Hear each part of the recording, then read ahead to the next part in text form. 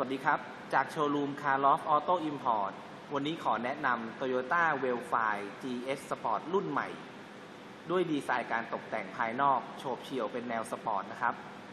โดยที่ตรงด้านหน้านะครับ จะสังเกตเห็นได้ว่ามีการตกแต่งทั้งตัวกันชนและกระจังหน้าเป็นแบบสปอร์ต พร้อมไฟ LED Daylight นะครับ ถัดมาตรงบริเวณเด้านข้างตัวรถ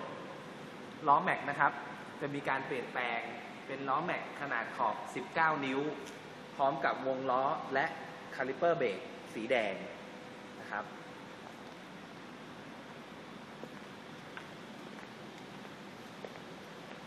มาดูการตกแต่งด้านหลังตัวรถยนต์นะครับ จะสังเกตเห็นได้ว่ามีการเปลี่ยนแปลงตรงสเกิร์ตด้านล่าง พร้อมกับปลายท่อคู่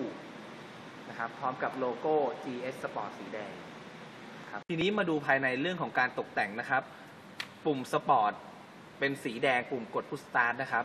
และตัวบริเวณการตกแต่งหุ้มเย็บ เป็นด้วยหนังเดินด้วยด้ายตะเข็บแดงนะครับและเบาะหนังเป็น Alcantara พร้อมโลโก้ GS Sport ติดอยู่บริเวณ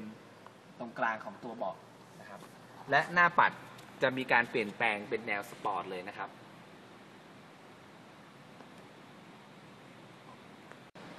ทีนี้มาดูการตกแต่งภายในนะครับ ประตูเป็นเปิดสไลด์ไฟฟ้าสองข้าง เบาะผู้โดยสารตอนหลังก็ยังเป็นการตกแต่งแบบแนวสปอร์ต หนัง Alcantaraนะครับเย็บด้วยตะเข็บสีแดง แล้วก็ตัว twin moonroof จะมีเป็น2ตอน ระหว่างผู้โดยสาร